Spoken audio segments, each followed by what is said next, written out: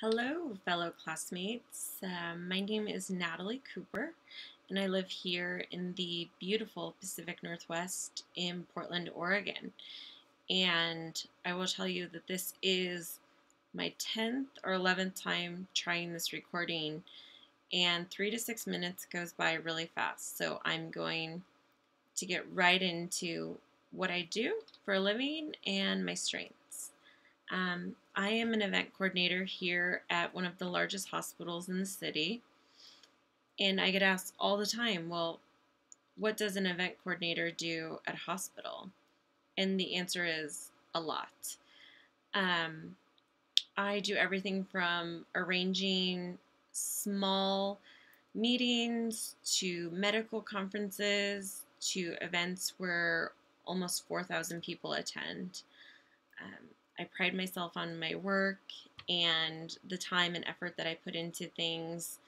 And working in this career is you're a natural arranger. And Clifton talks about how when an arranger is given a problem, they think outside the box to solve it.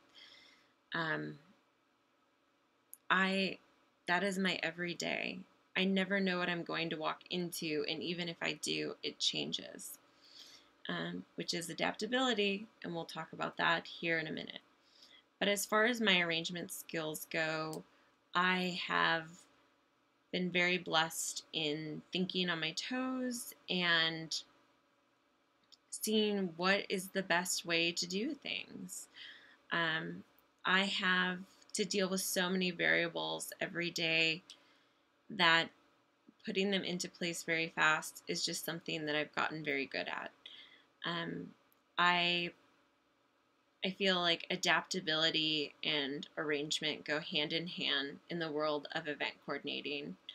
Uh, adaptability is something that you you have to be able to do. You have to be able to adapt. I'm not in a position where I can say, no, that's not what I had planned. Sorry, your event's not going to happen.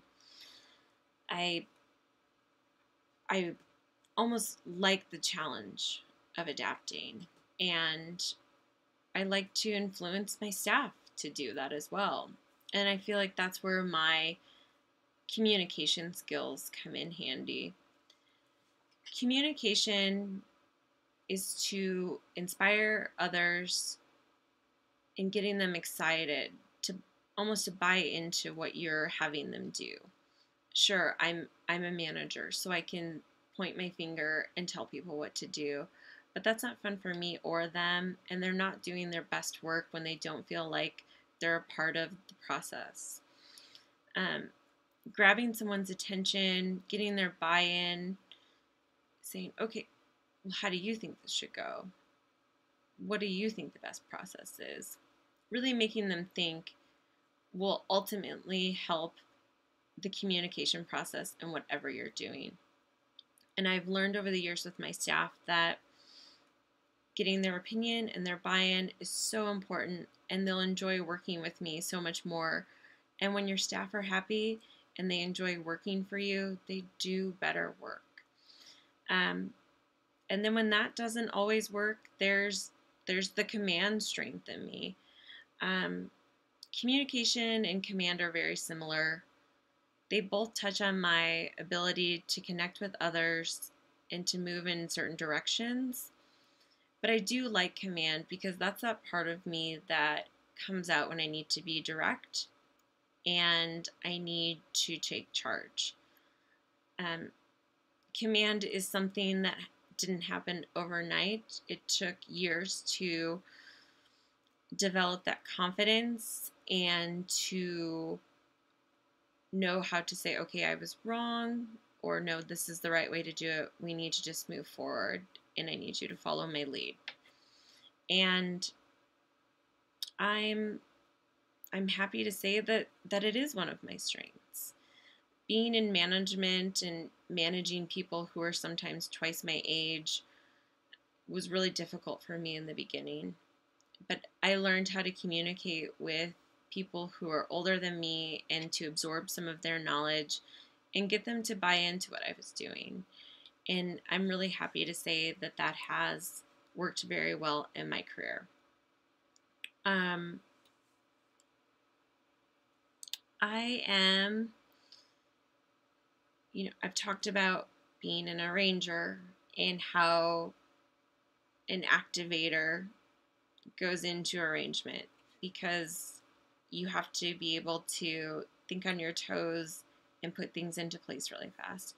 I've talked about communication and I've talked about command. Uh, the last thing which I had mentioned earlier is adaptability.